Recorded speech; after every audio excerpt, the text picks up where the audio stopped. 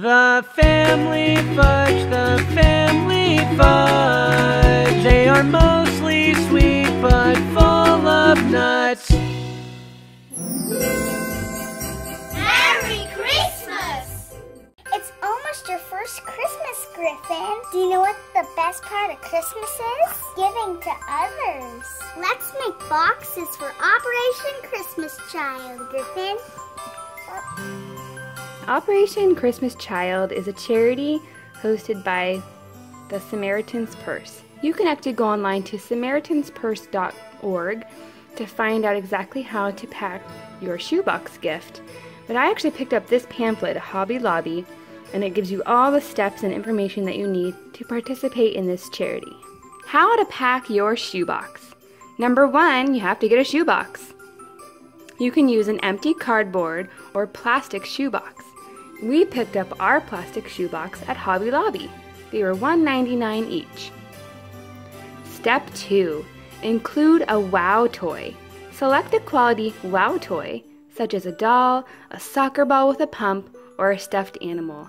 Now, if you're shopping at Hobby Lobby, if you look throughout the store, they've marked with signs um, suggested items for your shoebox gift.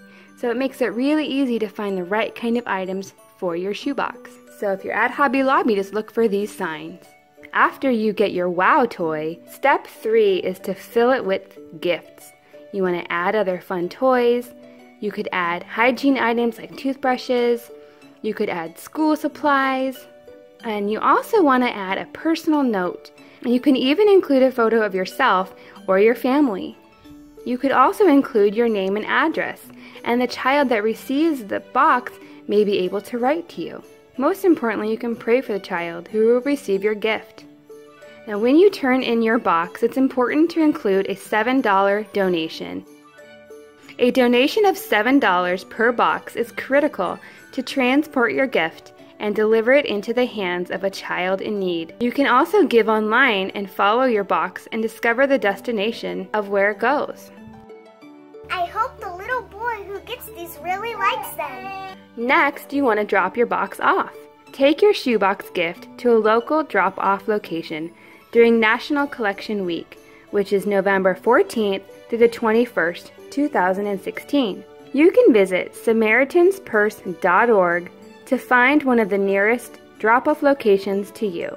It's important to remember what not to include in these gift boxes. They're asking for you not to include any war related items such as toy guns, knives, or military figures, seeds, chocolate or food, liquids or lotions, medications or vitamins. No breakable items such as snow globes or glass containers or any aerosol cans. Now, if you don't have time or the ability to make a shoebox and actually go to the store, you can go online to SamaritansPurse.org and they make it so easy for you to fill a box online.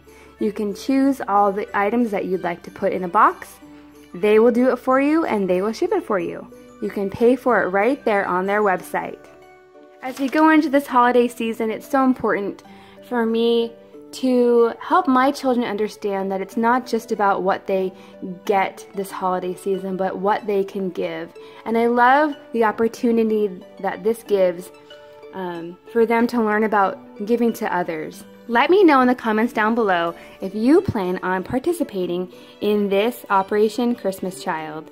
I hope you make a box for Operation Christmas Child too. Merry Christmas! Thanks for watching.